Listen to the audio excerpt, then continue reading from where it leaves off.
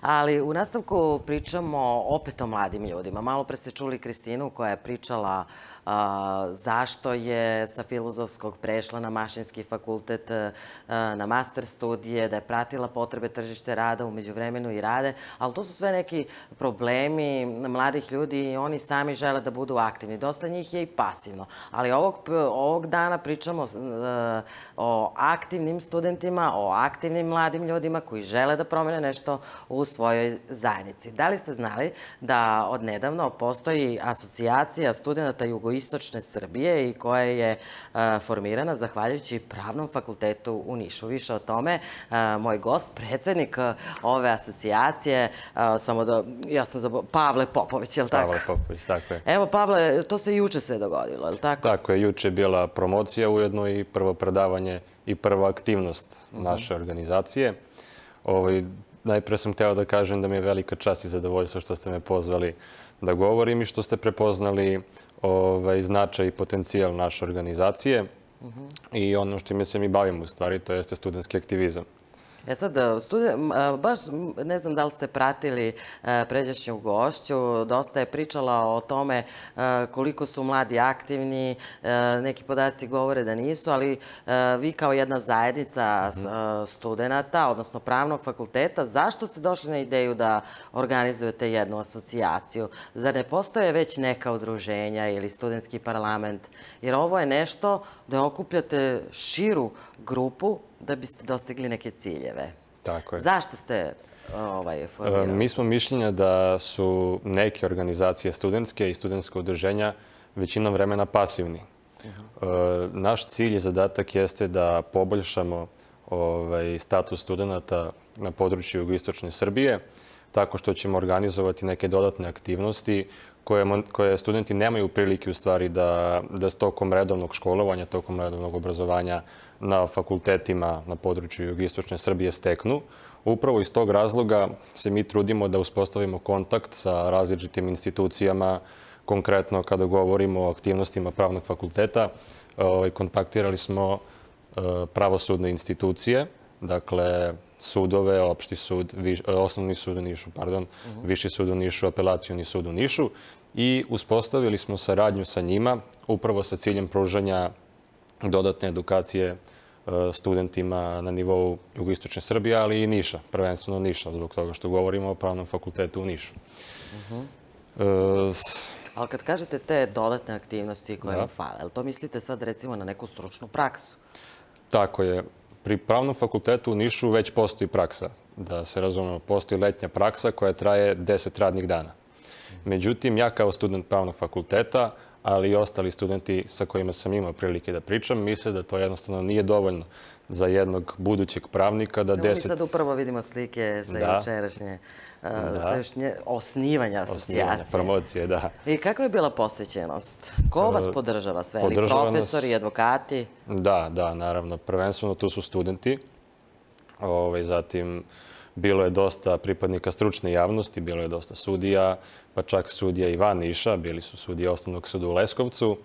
E, bilo je dosta profesora, upravo jedan predavač je bio profesor, profesor ovaj, Ivan Ilić koji predaje krivično procesno pravo na Pravnom fakultetu u Nišu. Pored njega evo vidimo i gospodina Srđana Aleksića, čuvenog advokata ovaj, iz Niša.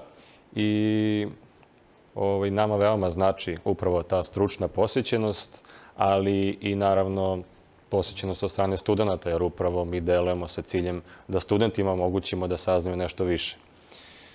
Evo, rekli ste, jedan od ciljeva jeste stručna praksa. Kontaktirali ste najvažnije institucije. Kako su te institucije reagovale?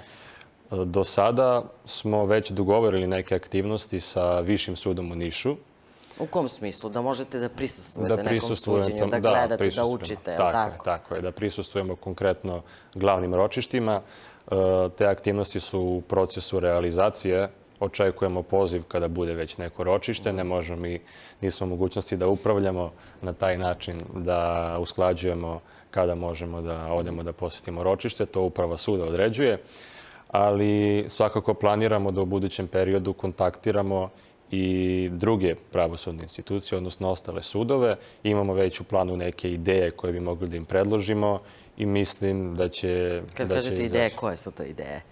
Pa ideje da Šta konkretno bi mogli da pratite, zavisno od potrebe studenta ili u, Mhm. u skladu sa potrebama predavanja koje imate u odnosu na predmet koji slušate, je li to? Tako je, tako je. Upravo, ovaj, jer se različiti postupci vode pri višem sudu, različiti postupci, odnosno drugi postupci u odnosu na viši sud u osnovnom sudu, pa zatim imamo apelacioni sud koji je drugi stepen i postoje različiti predmeti koji obuhvataju upravo tu materiju, pa upravo iz tih predmeta bi se organizovala ta praksa. A kako sad izgleda studiranje e, na pravnom fakultetu? Kad dođete do kraja, pre je bio diplomski rad, sad o, i onda posle treba neka praksa, ne znam kako se to zove. Ili to i dalje je postoji jednu godinu pripravnički dana da bude pripravnički staž? To je, taj pripremnički staž traje dve godine i, ovaj, I to je u stvari vreme kad studenti, odnosno... kad studenti da imaju prilike da sa te praktične strane nauče ono što su do sada teoretički, teoretički Vi ovaj, hoćete sad taj obrađivali. proces da počne ne, ranije, je Rano, li tako? tako je. Da studenti već kada dođu u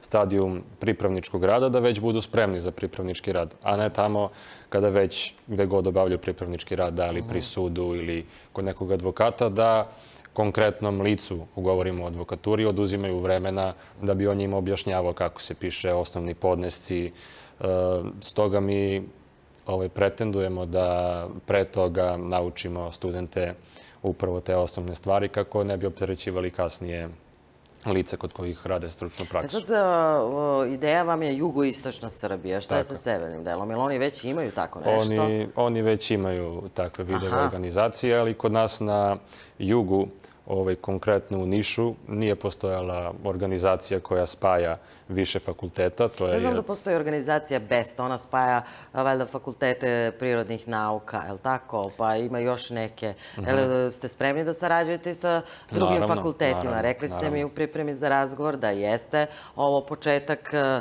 za studente pravnog fakulteta, ali da, da je u planu širenje, Širenje i na i na druge fakultete. fakultete. Tako je, tako je. Jeste pričali sa njima? Pa, u fazi smo ostvarivanja kontakata sa njima. Ovaj, kontaktirali smo već neke studente, očekujemo povratnu informaciju, nadamo se da će biti pozitivna. A koje Ali fakultete? Mašinski? Mašinski, filozofski, medicinski, ekonomski. Mislim da su to fakulteti sa kojima pravni fakultet može da ostvari saradnju, budući da ovaj, imaju dosta zajedničkih tema i mislim da bi zajedničke aktivnosti tih fakulteta ovaj, mogli da studenti izvuku korist od, od takvih aktivnosti. A ka, rekli ste jedan od ciljeva je da se poboljša statusa studenta. Evo čuli smo, znači želite da a, ima više stručne prakse. Stručne Šta prakse. još? U kakvom su o, položaju sada studenti? Je li to toliko loše? Ne, ne, ne. Naprotiv, Ili je samo a, ovaj, sistem u pitanju, organizacije, da biste brže i bolje došli do nekih stvari Upravo- u smislu unapređenja sebe, a samim tim i naše zemlje. Naše zemlje, Kad posle, tako kad je. počnete stvarno da radite. ultimativni cilj, da. Da. Ovaj, prvo bih hteo da se ogradim. Mi nismo stvoreni sa ciljem da upotpunjavamo praznine koje postoje ili ne postoje u obrazovnom sistemu trenutno. To je već subjektivnog subjektivno pitanje. Svaki student ima drugačije mišljenje o tome. Neki će reći jednostavno da im se ne sviđa trenutno obrazovni sistem koji postoji. Neki će pak misliti da je on funkcionalan i da nema potrebe da, ga, da, se, da se menja, ali... Dobro, ali svakako vreme donosi neke svoje stvari, mora da se stvari menjaju i moramo sami da uradimo nešto kako bi došli do nečega. Tako je, upravo je to i naš cilj. Još jedan od ciljeva, da komplementarno delujemo sa postojećim obrazovnim sistemom i, kao što sam već rekao, da organizujemo aktivnosti u cilju poboljšanja statusa studenta, a to znači, pored dodatnih praksi i neke stručne ekskurzije, naravno postoji mogućnost i međunarodne saradnje, ali usled trenutne medicinske situacije mislim da je to fizički neizvo- neizvodljivo, tako da to ostavljamo za neki budući period. Kako se postaje član kod vas? E, Član se postaje e, preko prijave na konkurs. Mi još konkurs nismo raspisali. Znači, tek će biti sad Tek u stvari biti, tako je. ekskluzivno Da, za prvo studente. smo mislili da organizujemo promociju. Nakon promocije vidjeli smo da je odaziv studenta zaista veliki. Skoro smo popunili sva mesta koje su bila predviđena. Naravno, morali smo da ograničimo broj gostiju jer e, medicinske merenja dozvoljavaju. Je li bilo online možda neki nismo, deo? Da... Nismo, Eto, nismo, to je nismo. savjet za sledeći put. To je savjet za sledeći put, da. Ali moram da pohvalim pravni fakultet, uh -huh. dao nam je tehničku podršku, salu za promociju, što je nama veoma značilo, e, kao novoj organizaciji. I ovaj, mislim da, da su studenti izvukli korist sa jučerašnjeg predavanja, s obzirom da je tema predavanja bila veoma aktuelna i kontraverzna, troškovi obrade kredita i mogu slobodno da kažem da je predavanje preraslo u grupnu diskusiju, s obzirom da su se... A i tu se uči? Naravno, naravno. S obzirom da su se pripadnici ovaj, stručne javnosti koji su prisustovali promociji, javljali i postavljali pitanja, tako da smo iz svakog, odnosno sa svakog aspekta mogli da sagledamo problematiku koja je bila upravo i tema predavanja. Šta će biti o, neka sledeća tema?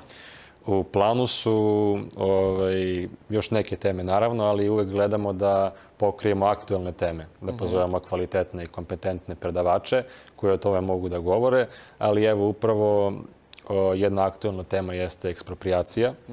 O, da, mislim da tu građanima, odnosno običnim lajicima, naravno i sebe ubrajam u lajke, s obzirom da nisam završio pravni fakultet Dobro, još sigurno više znate nego ja.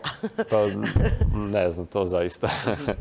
da sa te pravne strane upravo kažemo o čemu se radi, na šta se odnose izmene zakona o ekspropriaciji u odnosu na pređašnju regulativu i kako će to uticati na budući proces ekspropriacije odnosno oduzimanja zemljišta. Mislim da je to baš vruća tema i da ćete Da. imati dobar odziv. Nadam se da će doći adekvatni profesori i Naravno. koji će pričati o tome. I samo za kraj da ponovimo kako da se učlane tako što će vas pratiti preko društvenih mreža, da Tako čuju je. kada je konkurs, ili tako? Tako, imamo zvaničnu Instagram stranicu asocijacija.studenta.asjs.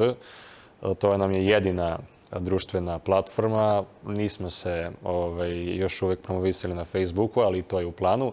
Trenutno samo na Instagramu biće objavljena ovaj, biće objavljen konkurs i na koji način će studenti mogu da, moći da se prijavljuju na taj konkurs. Verovatno će biti putem maila, ali to je pod znakom pitanja. Dobro, želim vam puno uspeha i kada budu prve aktivnosti, slobodno dođite da kažete i koliko je članova došlo i kakvi su vam, a, u- u- ka- kakve aktivnosti uopšte planirate u narednom periodu. Hvala puno što ste bili naš današnji gost.